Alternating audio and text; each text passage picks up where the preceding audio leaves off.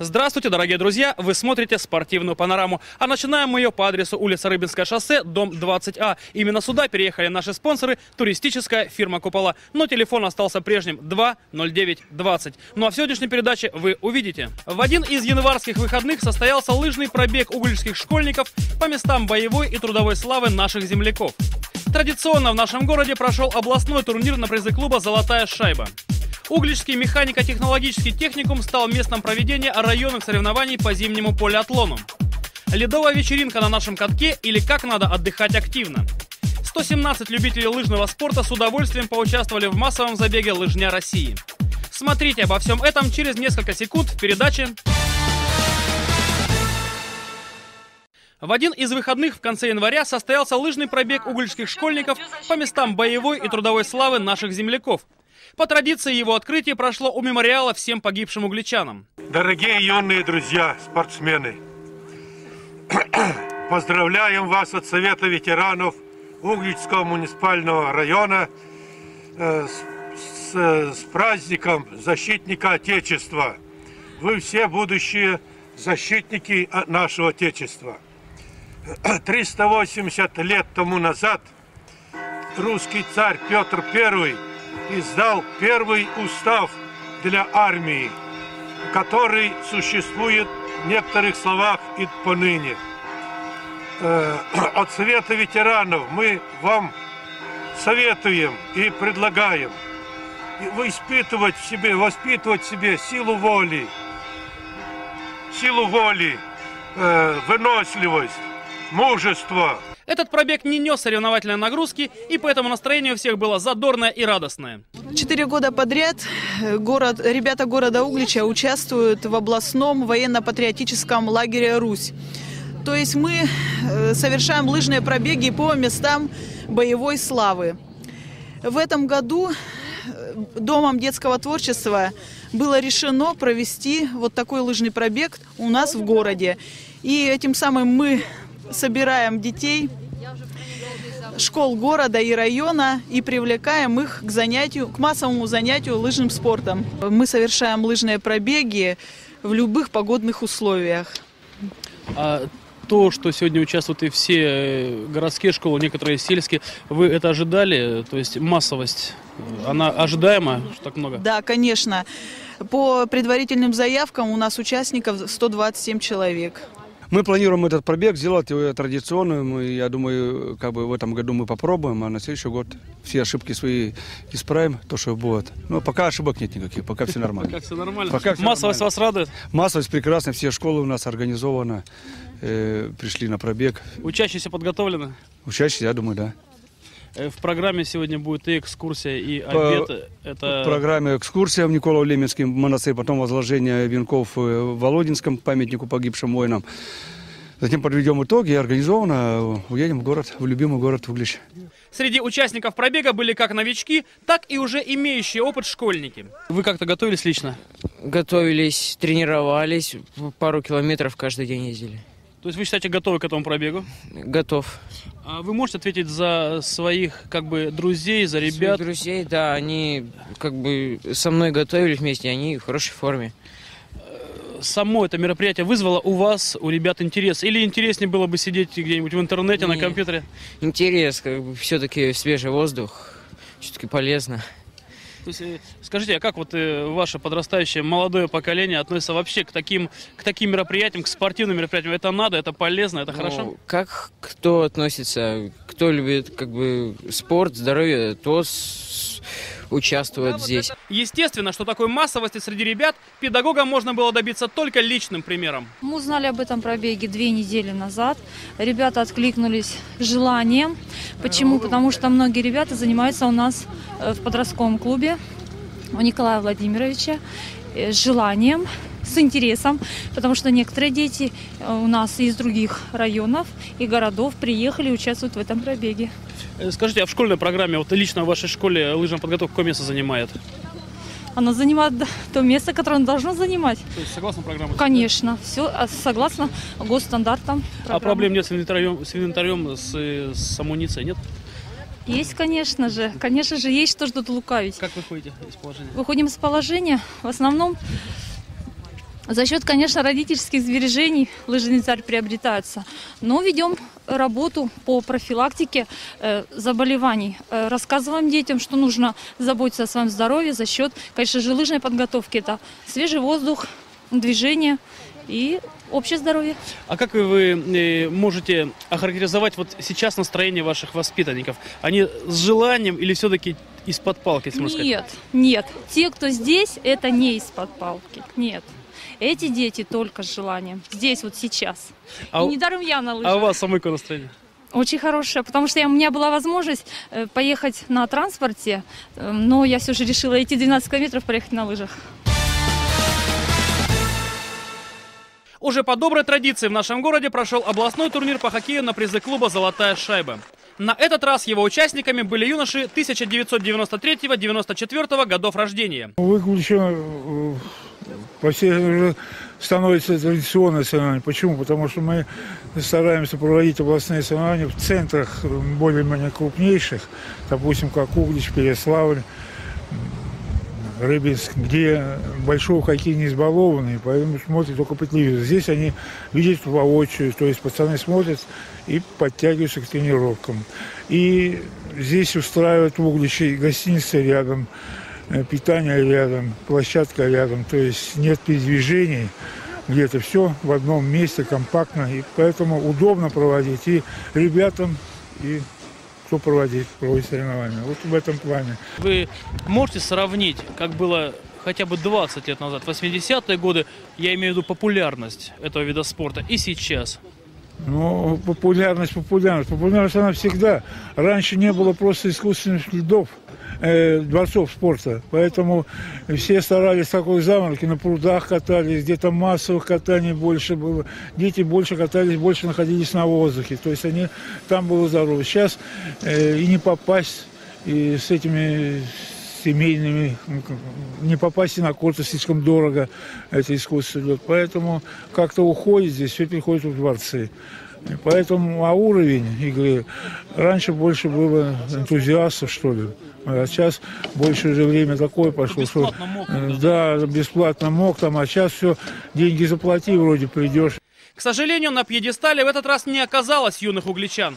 Причины, наверное, ясны каждому. Наша команда Угличская всегда составляла конкуренцию лучшим командам области.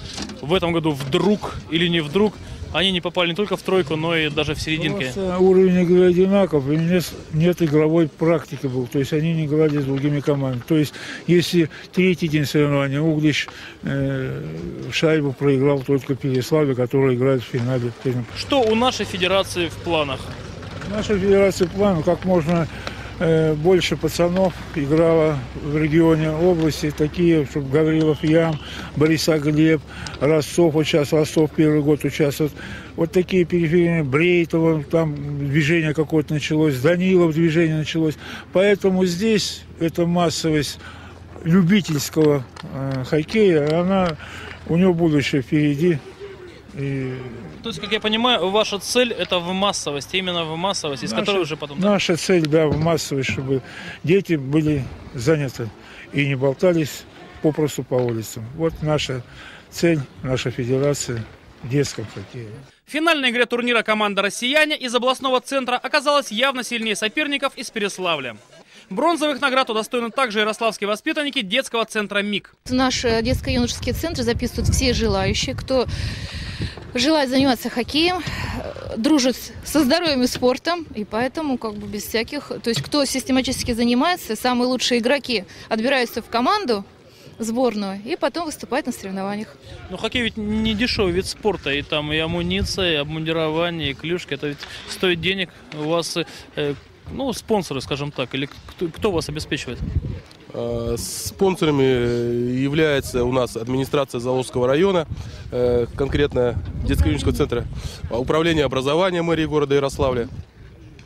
Вот. То есть э, действительно вид спорта не дешевый. В городе Ярославле построены физкультурно-оздоровительные комплексы, где мы сейчас тренируемся. За счет этого как бы и команда прогрессирует. Вы сказали, э, комплексы, где вы тренируетесь. Расскажите поподробнее, в каких условиях вам приходится заниматься, тренироваться. То есть это лучше, чем здесь? Но у нас, конечно, получше, поскольку у нас в этом году, в прошлом году было построено в городе Ярославле два э, ледовых физкультурно-оздоровительных комплекса. и, Крытых, да? крытых, да, крытых. И поэтому вот в этом году мы занимаемся где-то с октября, мы заним... с ноября, с ноября мы занимаемся с, с ноября в крытом вот ледовом комплексе. То есть, конечно, более тепло, уютно. Дети переодеваются в теплых раздевалках. О выступлениях взрослых хоккеистов в чемпионате области мы расскажем вам в следующих программах.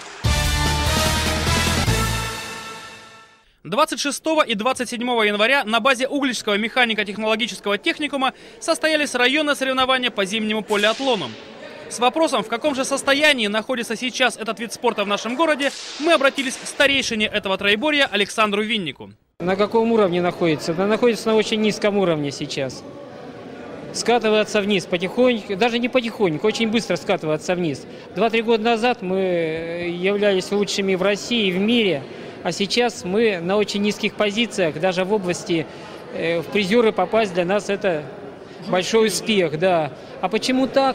А потому что все упиралось, э, уже давно это было предсказуемо, нехватка инвентаря, нет, нег- э, негде было вообще тренироваться, а в этом году дошли до того, что вот до этого момента просто негде было тренироваться именно по лыжам. Тренировки по лыжам у нас проходили на стадионе на кругу 100 метров. Ну это же смешно даже. И такой вид спорта, который у нас наиболее развит в Угличе, э, он потихонечку, просто душат его потихонечку, мне кажется.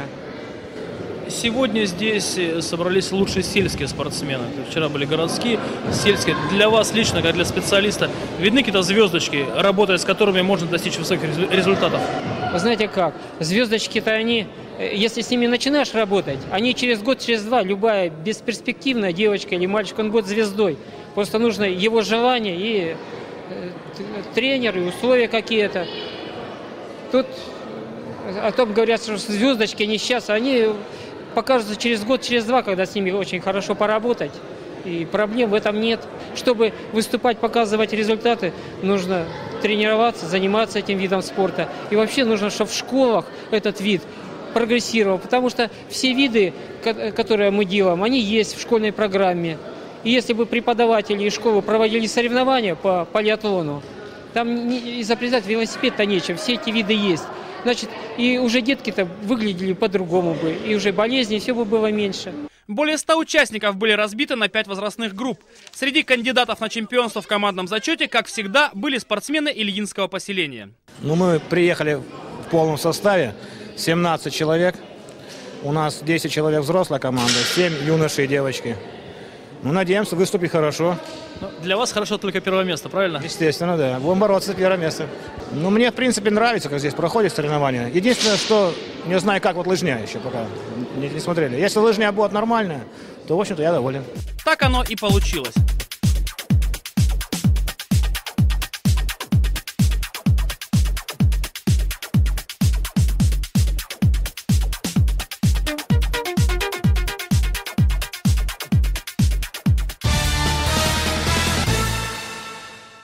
Один из зимних вечеров на Угличском катке прошла игровая программа «Ледовая вечеринка», организованная молодежной организацией «Стимул» при поддержке администрации городского поселения. На серьезность эта программа не претендовала, но дух состязания витал от начала и до конца. Здесь было все – и умение кататься на коньках, и владение клюшкой, и даже элементы единоборств. В перерывах была дискотека и живое исполнение песен. Наверное, даже сами организаторы не ожидали такой массовости. Вместе с моими ребятами из организации «Стимул» мы ходили на каток, побывали, покатались, посмотрели. Интересно кататься, но хотелось бы привнести что-то интересного и нового в процесс катания на нашем катке. Поэтому, посовещавшись, мы решили именно провести такое мероприятие. В принципе, так и зародилась э, ледовая вечеринка. Как вас радует массовость? Конечно, очень приятно то, что ребята приходят на каток, чтобы поучаствовать в конкурсах, в играх. Надеемся, что в следующий раз э, будет народу еще больше, потому что мы планируем проводить это мероприятие все чаще и чаще. То, что здесь участвует и от, э, наверное, 8 до 20 лет, вообще такой охват, мне кажется, и даже комсомолу не снился. Вы сами ожидали такого? честно, не ожидали. Но мы очень рады такому участию людей, потому что вот эти игры, эти конкурсы, они как-то сближают народ. И возрастная категория, она стирается, то есть э, возрастных различий не существует. Все здесь дети. Ну что ж, удачи вам, всего доброго. Спасибо. Практически все участники ледовой вечеринки получили призы, но главное, конечно же, не в этом. 117 любителей лыжного спорта с удовольствием поучаствовали в массовом забеге «Лыжня России», старт которому был дан на поле за механико-технологическим техникумом. Стартовать в нем могли все желающие, независимо от пола и возраста. И хотя на дистанциях 5,3 километра были, естественно, и победители, среди которых узнаваемые Винник, Фоминых, Пестрев, Гафурова и другие, главный рекорд, как говорили в прежние времена, здоровье. И это все, о чем мы вам сегодня хотели рассказать. А мне только остается напомнить, что наш спонсор остается неизменным. Это туристическая фирма «Купола», которая совсем недавно переехала по новому адресу Рыбинское шоссе, дом 20А. И телефон остается неизменным 20920. Звоните и заказывайте тур активного отдыха, путешествий и экскурсии. А я, автор и ведущий спортивной панорамы Роман Желтов, с самыми наилучшими пожеланиями прощаюсь с вами. Всего вам доброго, до новых встреч и не забывайте заниматься спортом.